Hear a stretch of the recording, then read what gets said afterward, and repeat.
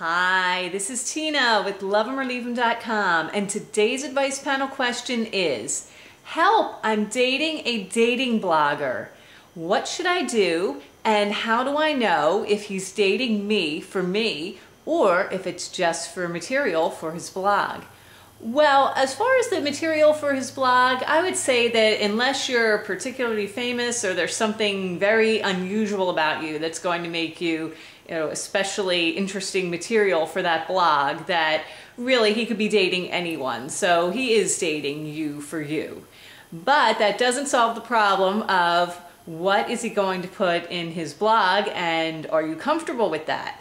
And as much as you need to communicate and get a feel for it, or how much do you plan on revealing, you need to go through that blog. You need to see what's being posted on Twitter, on Facebook, everywhere he's posting about dating and his relationships. You need to really take a look at that because everyone has a different standard of what is acceptable to you know, tell the world and what is private. So he may say, "Oh, I don't reveal private details, but you might look at it and think those are very private details.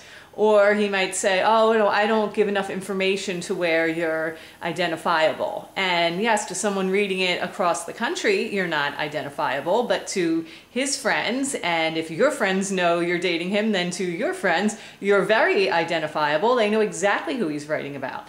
So can you handle, you know, having people that know you know that you are the topic of certain blogs? And that's going to be up to you to decide just you know what you think is appropriate and what isn't appropriate.